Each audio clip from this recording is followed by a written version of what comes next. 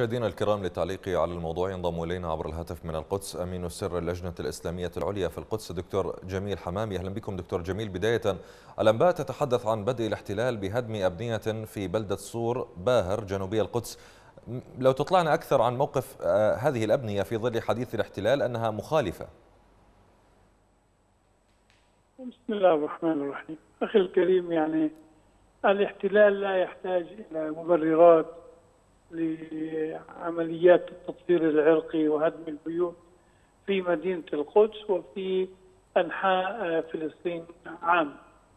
آه هذا الحي هو واقع على أرض فلسطينية كاملة آه واضحة المعالم.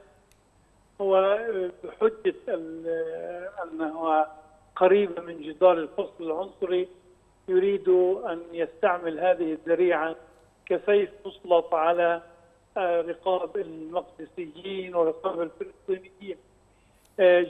جرافات الاحتلال من الصباح من الفجر أمعنت في هدم البيوت وتفجيرها لبعض البيوت التي لم تستطع أن تهدها بالجرافات.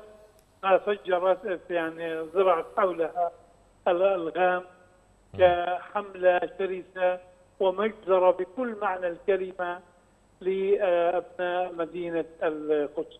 حي وادي الحمص هو واحد من أحياء ضاحية صور باهر وقرية صور باهر جنوبي مدينة القدس.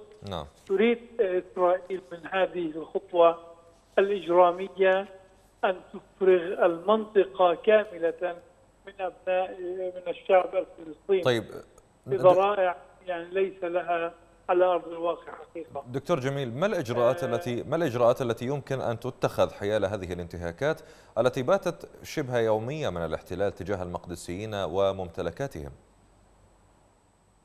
مع شديد الأسف وبكل ألم نقولها على أن هذا الاحتلال ما عاد يردع أي إجراءات تتخذها سواء الهيئات الدولية ونحن نرى هذه الهرولة القذرة من بعض المطبعين في عالمنا العربي للتعامل مع هذا الاحتلال. وكأنه هو صاحب الحق وفرض أمر واقع على المنطقة. وتأتي هذه الحملة الشرسة بعد ما عرف بورشة البحرين التي يعني رسمت معالم جديدة في المنطقة. ونحن نرى أن لا ورشة البحرين تستطيع أن تغير قناعات الشعب الفلسطيني. هذا الاحتلال يبقى احتلال. هذا الإجرام يبقى إجرام في تصنيف العالم كله. ولكن الاحتلال يستعملها نعم. كذريعة أنه علاقتنا نحن مع الدول العربية على وهذا يقودنا إلى إلى تقييم الدور العربي الرسمي في وقف هذه الانتهاكات مقارنة بالموقف الشعبي العربي تجاه القضية بعمومها. طبعا نحن نفصل بين الموقف الرسمي والموقف الشعبي.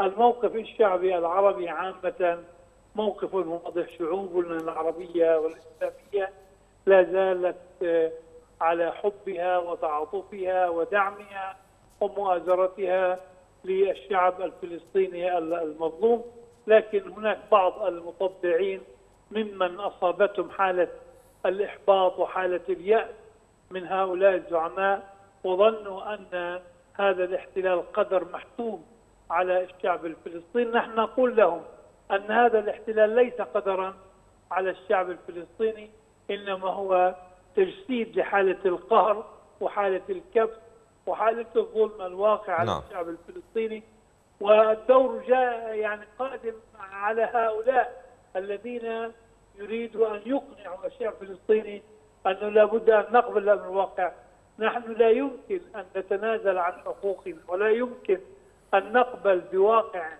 يفرض علينا الظلم ويفرض علينا قهر لأننا على قناعة أننا أصحاب حق ولا بد لهذا الحق أن يعود لاصحابه وضحت الفكرة دكتور جميل دكتور جميل حمامي أمين سر اللجنة الإسلامية العليا في القدس. شكرا جزيلا لك.